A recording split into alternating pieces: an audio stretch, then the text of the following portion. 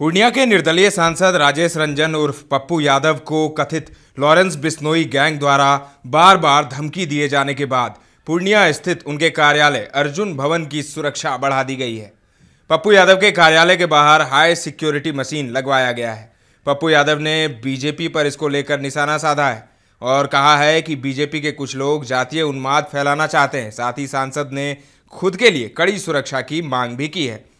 पप्पू यादव ने पूर्णिया में अपने कार्यालय अर्जुन भवन में प्रेस कॉन्फ्रेंस कर जो धमकी उनको मिल रही है, उस पर प्रतिक्रिया दी है।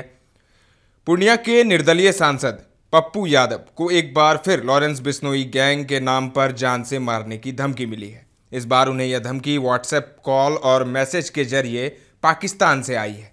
खुद को गैंगस्टर लॉरेंस बिस्नोई गैंग का सदस्य बताते हुए धमकी देने वाले ने 9 सेकंड का एक धमकी से भरा वीडियो भी जारी किया है। योर फ्यूचर लिखे इस वीडियो के ज़रिए पूर्णिया सांसद को धमाके में उड़ा देने की धमकी दी गई है। साथ ही यह कार्य उनके जन्मदिन 24 दिसंबर से पहले कर देने की बात कही गई है। धमकी देने वाले ने कहा है कि तुम पर मेरी नज़र है। 24 दिसंबर से पहले सरप्राइज़ मिल जाएगा। लॉरेंस भैया ने तुम्हें कॉल किया था, क्यों नहीं उठाया? सांसद हो तो सांसद बनकर रहो, तुम्हारी औकात पता लग जाएगी।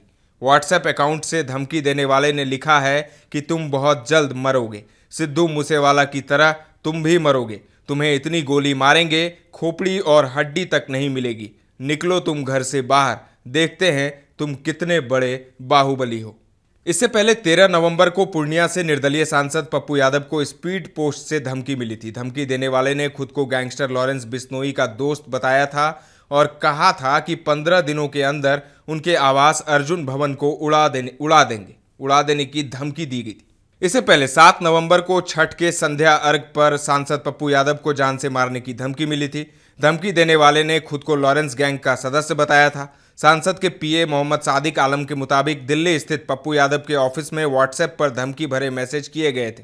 सांसद के पीए ने दिल्ली के कनॉट प्लेस थाने में शिकायत दर्ज कराई है। एसपी कार्तिकेय शर्मा ने कहा कि पूर्व में ही धमकी संबंधी आई सूचना के बाद सांसद की सुरक्षा बढ़ा दी गई है। उनसे जुड़े हर मामले की गंभीरता से जाँच की जा रही है। अब देखना होगा पप्पू यादव को मिल रहे धमकी का सिलसिला कब थमता है, क्योंकि पप्पू के समर्थक अपने सांसद के लिए चिंतित हैं। दर्श न्यूज़ के लिए पूर्णिया से रोहित सिंह की रिपोर्ट।